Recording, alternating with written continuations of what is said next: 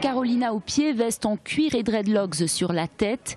Electra, le look d'une ado rebelle de notre époque, et Clytemnestre, sa mère, celui d'une Cruella des temps modernes. Une mise en scène contemporaine créée par Charles Roubaud en 2003. qui dépoussière l'un des chefs-d'œuvre les plus violents de l'opéra. C'est une musique hystérique, comme le personnage d'Electra, c'est un cri du début à la fin, c'est un dramatisme exacerbé, et euh, euh, c'est très prenant, et euh, heureusement ça ne dure qu'une heure cinquante, parce qu'on ne pourrait pas tenir plus, tellement la musique est à fleur de peau.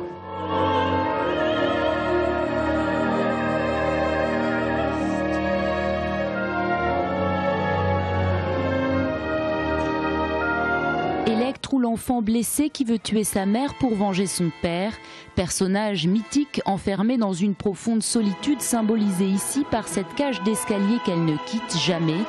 Electra fait partie de ces rôles que tant veulent chanter mais que très peu peuvent tenir du fait de la puissance vocale et physique nécessaire.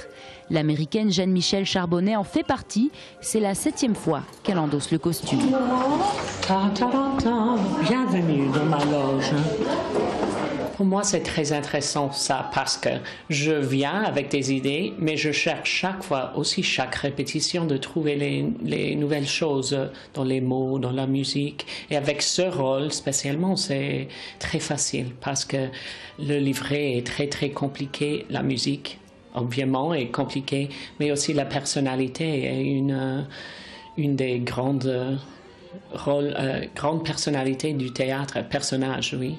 Vraiment, j'adore cette petite fille euh, blessée, troublée. Elle est très dure, mais elle est dure parce qu'elle est blessée et parce qu'elle a cette histoire. La partition, l'une des plus audacieuses de Richard Strauss, où l'orchestre hyper présent, dirigé ici par Pincha Steinberg, va crescendo tout au long de l'action, jusqu'à l'extrême limite de la capacité des oreilles, comme le disait le compositeur allemand.